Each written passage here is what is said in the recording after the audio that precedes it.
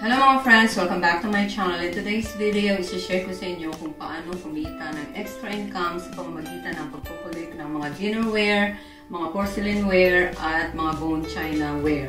So, halika at samahan nyo kay papakita ko sa inyo kung ano yung mga nakulik namin ngayong week na to.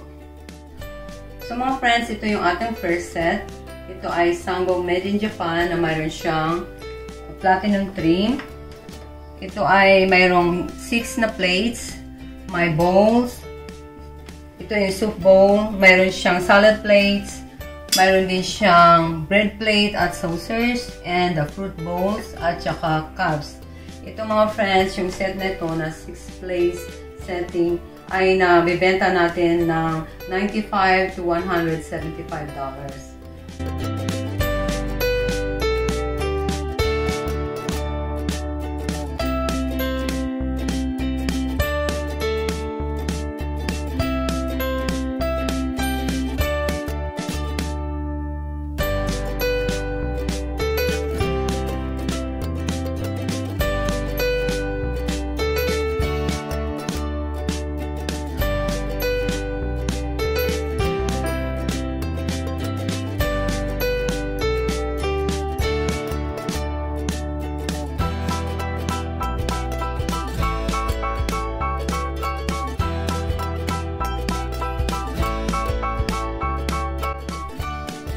Ito yung ating second set mga friends. Ito ay ang Noritaki made in Japan with gold frame.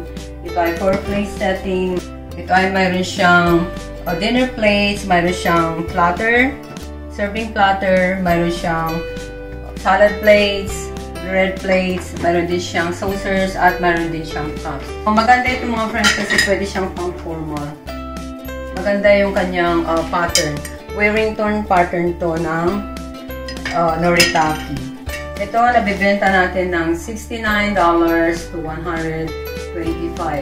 Sa online to, binibenta nila ng 20 per plate. Sa replacement mga friends, binibenta nila per plate ng $20 to $27. Ang isang set, nabibenta nila ng $300 to $400. Yun yung mga presyo ng Noritaki ngayon. Pero ito, uh, binibenta lang natin ng $65 to $125.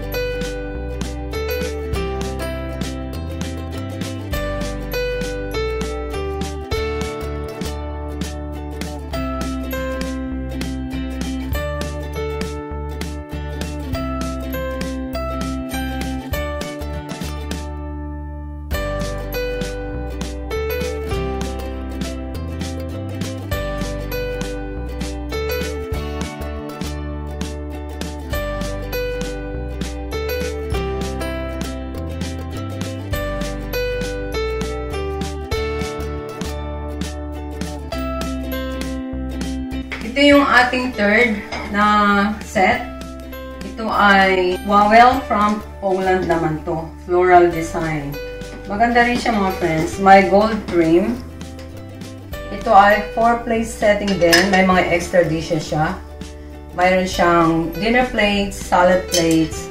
Mayroon din siyang fruit bowl, um, bread plate, at cups. Wala itong serving platter mga friends. So, Nabibenta rin natin ito sa $65 to $125 kagaya ng Noritaki. And Wawel is made from Poland. So, European to and Japan yung dalawa.